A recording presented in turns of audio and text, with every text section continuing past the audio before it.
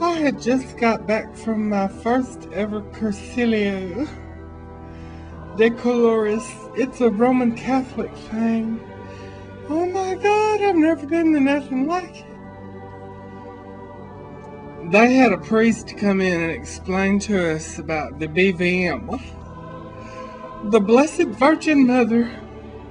I didn't know that much about her before I know that she was Jesus' mother and that she cussed him out when he wouldn't show up for things on time.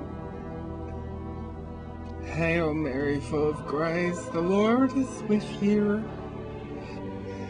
And then for three days and three nights, we didn't eat nothing. We went on a fast for the Lord. Well, fast is a spiritual thing. I actually snuck in some peanut M&Ms and beef jerky and some Slim Fast and some Krispy Kreme donuts and some bacon bits and other. At one point in that Cursillo, we was supposed to get in front of a group of people and tell everything we had ever done as sinners.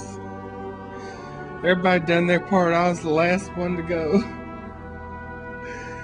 You could have heard a pin drop when I got through with my testimony. There was people on their cell phones about to dial 911. Salve Regina, Mater Misericordiae, vita dulcis spes nostre, salve Regina, especies nostre come salubus. Oh, my salvation,